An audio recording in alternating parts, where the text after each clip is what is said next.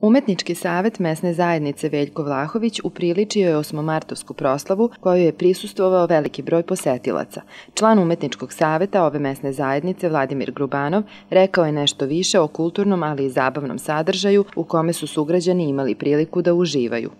Umetnički savet mesne zajednice Veljko Vlahović postoji već evo u drugom mandatu i bavimo se organizacijom raznih kulturnih e, događaja kao što su izložbe slika, predavanja, promocije i zabavnim večerima. E, osim Mart je izuzetno značajan e, u našoj nekoj tradiciji i obeležava se uvek nekako svečano i malo zabavno.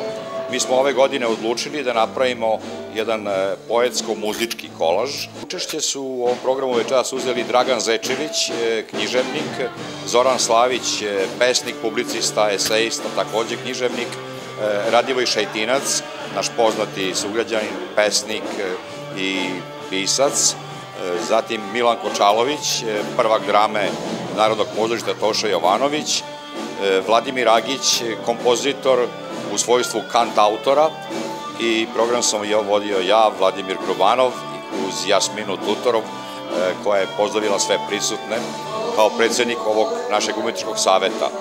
Rekao je Vladimir Grubanov, član umetničkog saveta mesne zajednice Veljko Vlahović i dodao da je odziv bio izuzetan. Komentari publike povodom proslave pozitivni, što samo dokazuje da je Bagljašu neophodno postojanje ovakve vrste programa. Predsednica umetničkog saveta mesne zajednice na Bagljašu, Jasmina Tutorov, iznela je svoje utiske povodom osmomartovske kulturno-zabavne proslave. Večerašnji program je poklon umetničkog saveta mesne zajednice Veljko Vlahović, našim sugrađanima sa Bagljaša. Kao što vidite, program je bio krajnje raznovrstan i bogat. Dakle, imali smo muzičare, kanta, autore, književnike. I mogu vam reći, ljudi su se divno zabavili. Jasmina Tutorov najavila je ovom prilikom i kulturne događaje za mart u organizaciji Bagdaške mesne zajednice.